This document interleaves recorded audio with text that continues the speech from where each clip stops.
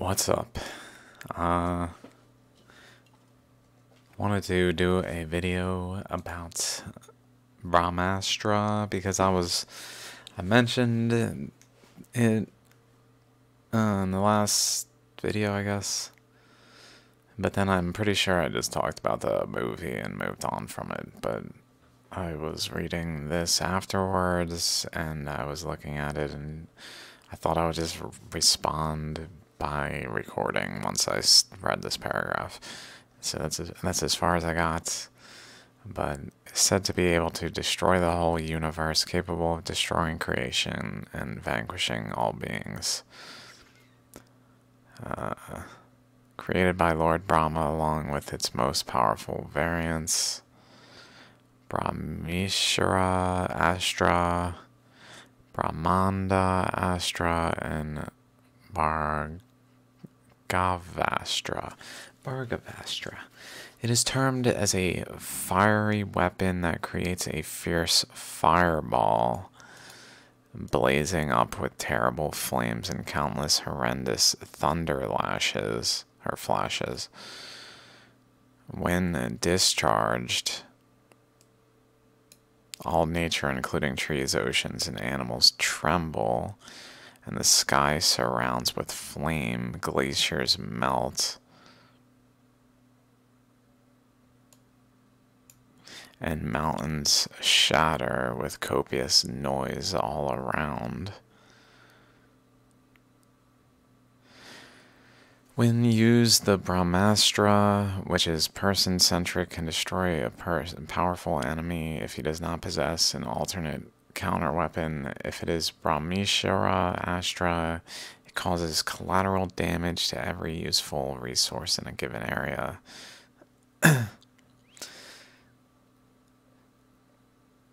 um, uses. but used here, but so I guess it didn't work then. Against the army of Rama in the Ramayana, the Nag Pasha.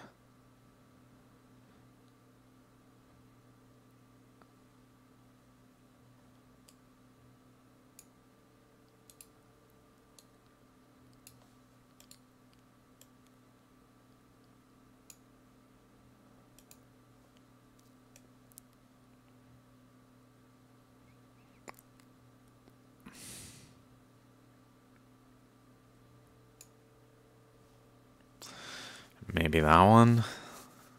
I'm just thinking, like, it's possible, especially reading Ramayana, because it's been uh, suggested that Dwarka was 5525 BC. and I was thinking maybe the vortex was actually earlier at the time of the Ramayana, from what I was uh, able to glean from some talks by Nilashok.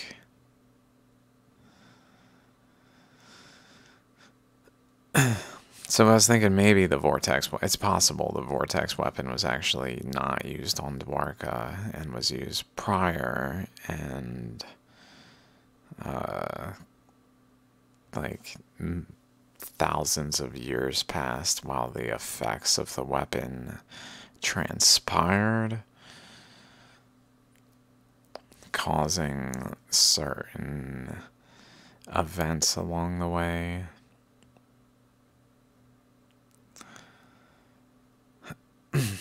According to the Ramayana, the weapon was also aimed at Samudra, the sea god, to carve a path out of the sea such that, such that Rama's army could march towards the island of Lanka.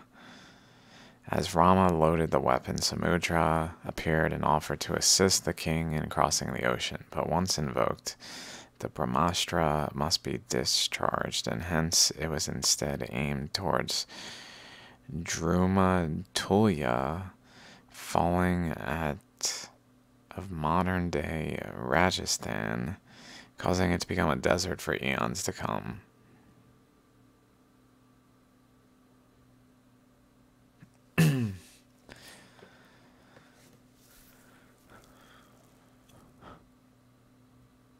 I, I mean, it's possible that this is related to eastern Pakistan, I guess.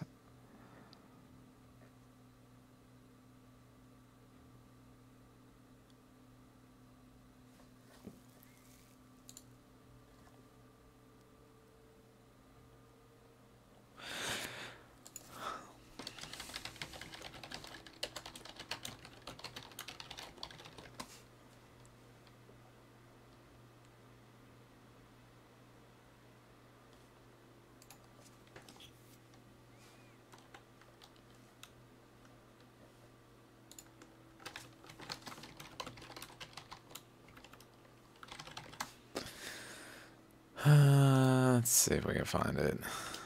Doom Shape. Chapter 5. Okay. Pardon me.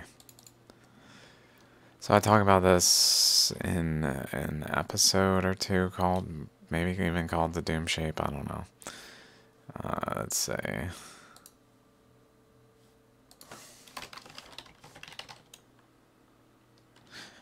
At least that one.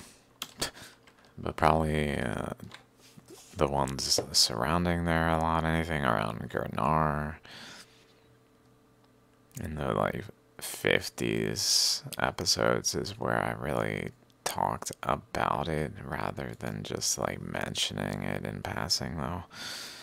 Um, basically reading this and going through it, but in essence,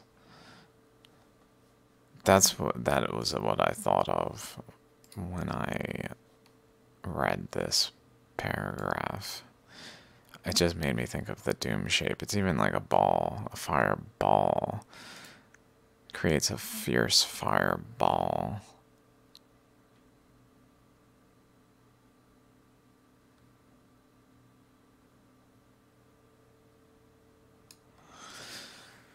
So it's possible, it's possible that that's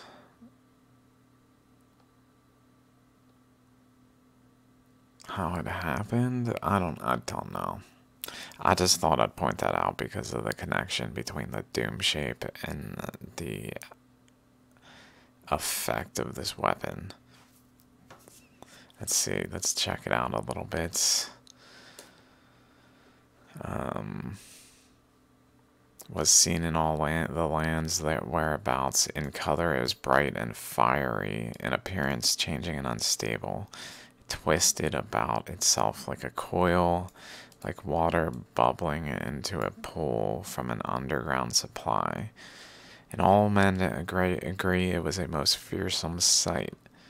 It was not a great comet or a loosened star, but being more being more like a fiery body of flame. Like a fireball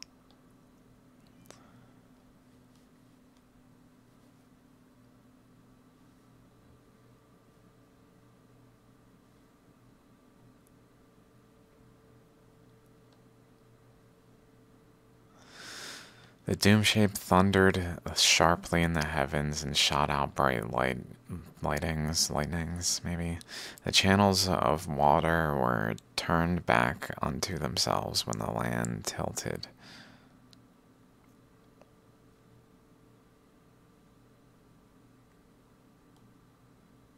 And great trees were tossed about and snapped like twigs. Then a voice like 10,000 trumpets was heard over the wilderness and before its burning breath the flames parted, the whole of the land moved, and mountains melted. The sky itself roared like 10,000 lions in agony, and bright arrows of blood sped back and forth across its face.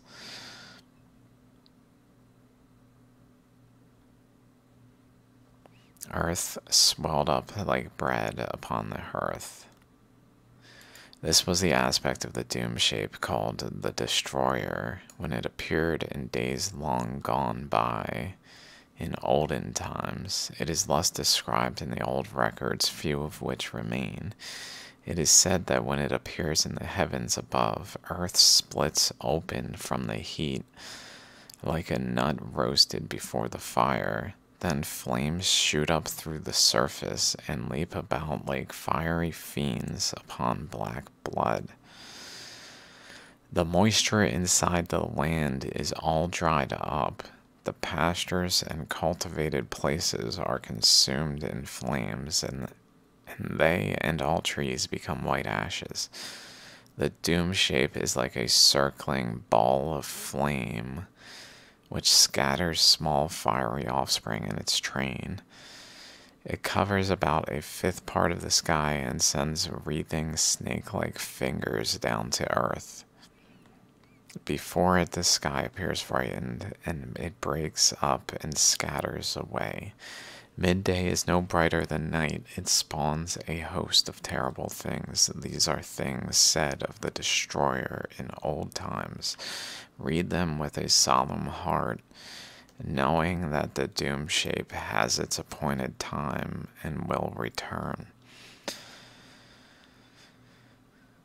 It would be foolish to let them go unheeded. Now men say, Such things are not destined for our days. May the great God above grant that this, that this be so. But come the day surely will, and in accordance with his nature, man will be unprepared.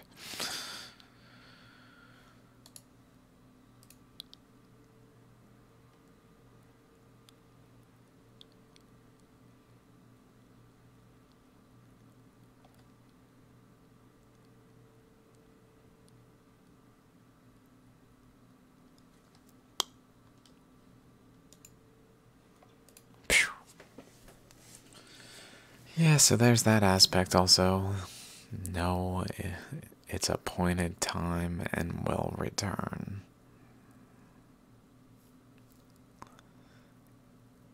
And is the South Atlantic anomaly.